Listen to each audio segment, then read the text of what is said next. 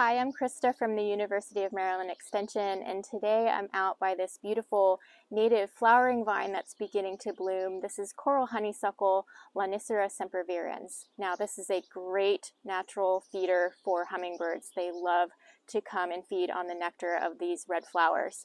Now, this plant gets aphids early in the season. It's a very common pest of this plant but we also have some great natural predators that are showing up to take care of the pest problem. So here are those beautiful flowers opening up on this honeysuckle. And you can see here that we also have an infestation of aphids going on. Now, when you have aphids, you'll often also see this kind of shiny, sticky substance called honeydew that results from their feeding. Now, you could take a strong spray of water from a garden hose and just kind of blast uh, those aphids off of the plant so you don't need to use any chemicals or soap.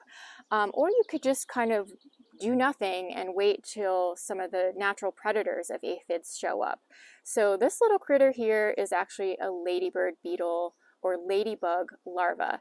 Now, I know that looks completely different than what we know as ladybugs with their red wings and black spots, but ladybugs go through four stages in their life from egg to larva to pupa to adult.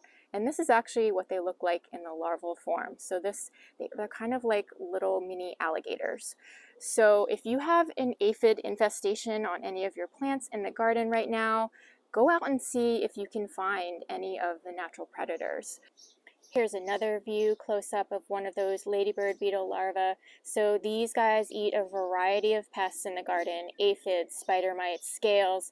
These are good guys to have around in your garden